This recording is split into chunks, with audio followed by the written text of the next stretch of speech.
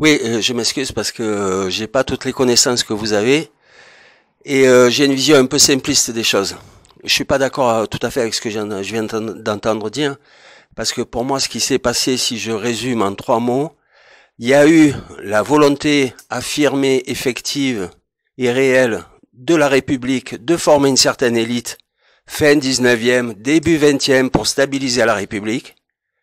Après, il y a eu un petit souci qui s'appelle mai 68 et un certain nombre de personnes se sont rendues compte que euh, euh, leur position d'élite, les privilèges qui vont avec, etc., pouvaient être secoués.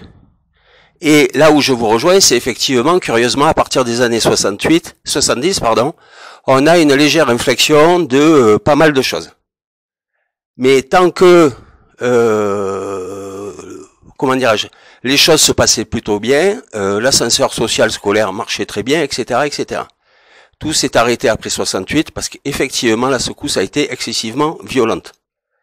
Moi j'ai des petits souvenirs, j'avais 10 ans à l'époque, j'ai des souvenirs de, solidarité, de fraternité, de liberté, des souvenirs de ce qu'on appelait être français à l'époque. Ce qu'on ne trouve plus vraiment maintenant. Pas de question à proprement parler, c'est un commentaire. Merci bien, tu voulais une question? Monsieur de la salle Je fais pas sa taille, hein, désolé. Oui.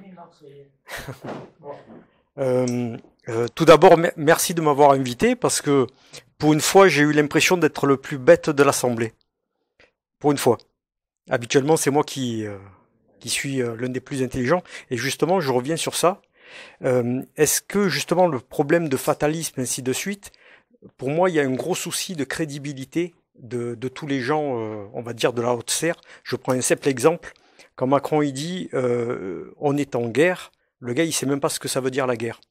Moi j'ai ramené de Yougoslavie huit boîtes. À l'intérieur il y avait des gens, des jeunes de 18 à 20 ans et je les ai rendus à leur maman. Et désolé, c'est un petit mauvais souvenir. Et les mamans, elles savaient ce que c'était, la guerre, pas lui.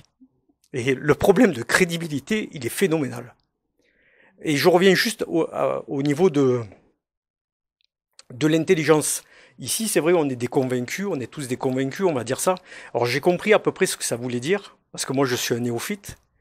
Euh, et euh, euh, est-ce qu'on n'a pas aussi, nous, un souci de redéfinir aux gens, le commun des mortels, ce qu'on raconte là, ici Parce que c'est vrai que le, niveau intellectuel est assez haut, on va dire ça, et quand même euh, pas négligeable. Et sur le terrain, moi, quand je discute avec euh, les Gilets jaunes, en tant qu'élu principalement, quand je, je discute avec d'autres personnes, c'est vrai que je, je ne peux pas leur expliquer ce que vous me racontez ici. Parce que moi-même, je n'ai pas toutes les euh, toutes les subtilités, on va dire. Est-ce qu'il n'y a pas ce problème-là aussi de dire, ben, il faut faire passer un message, mais là, pour l'instant, on a un petit peu du mal à le faire passer. Et comment on peut le faire mieux passer? Alors, c'est vrai qu'il faudrait peut-être, attention, je dis pas être moins intelligent, mais être un peu moins euh, cultivé dans la conversation. Est-ce qu'il n'y a pas moyen de faire ça pour que les gens puissent justement adhérer un peu plus et, et qu'ils comprennent un petit peu plus? Je dis pas qu'ils sont pas intelligents les gens, hein, c'est pas ça du tout. Tout le monde est intelligent, mais c'est vrai qu'il y a beaucoup de gens qui ne comprennent pas la moitié euh, de ce qu'on a parlé ce soir, enfin ce soir, euh, aujourd'hui, à ce niveau-là. Merci.